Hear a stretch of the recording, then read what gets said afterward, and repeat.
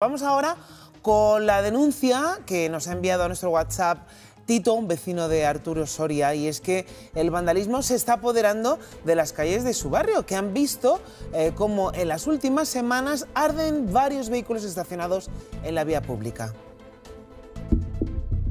Desde hace un mes, los vecinos de Arturo Soria no saben cómo van a encontrar sus coches cuando se levanten.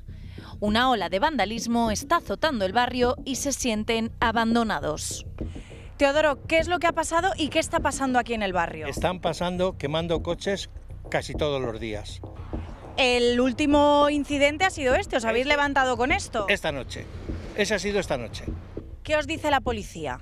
La policía dice que no puede poner cámaras por la protección de datos. Nosotros tenemos nuestro garaje comunitario y toda la gente mete, pero claro, hay en casas que hay dos o tres coches y lo dejas en la calle y te encuentras a la mañana siguiente este plan. Los incidentes se repiten y son varios en una misma noche. Pues esto mismo fue el mismo sábado, este sábado pasado. Bueno, de hecho es que todavía se ven los restos de los cristales y de la zona quemada, pero es que Teodoro, uno de los coches que quemaron, que está aquí a la, que estaba a la vuelta, era el de tu hija. El de mi hija, el de mi hija.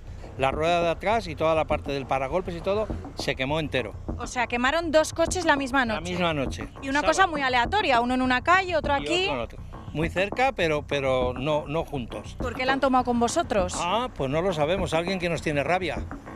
No sabemos porque hemos ido a la policía, está denunciado, todo lo que ha pasado está denunciado en policía y tenemos las denuncias, pero la policía no, no, no de momento no, no ha podido hacer nada. Estos actos vandálicos comenzaron de manera más sutil. Alfonso, este es vuestro coche. Todo empezó así, con unos rayajos, pero es que en vuestro caso se han ensañado. Se ensañaron con cristales, capó, puertas, está denunciado y ahora se ha escalado rupturas y quemar coches. Vosotros en vuestro caso decidisteis mover el coche visto lo visto porque ya lo siguiente era que lo iban a quemar.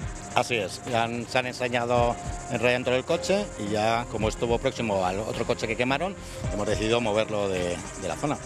¿Cómo va el tema de los seguros? ¿Por lo menos esto os lo cubre? Sí, tenemos seguro a todos riesgos y por vandalismo con la denuncia puesta nos lo cubre.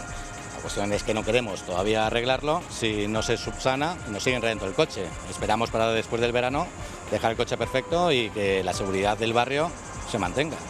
Los vecinos piden más presencia policial y un barrio más seguro. Y ojalá pronto se localice a ese vándalo pirómano o vándalos o pirómanos, porque puede ser más de uno los que están actuando en esa calle Arturo Soria.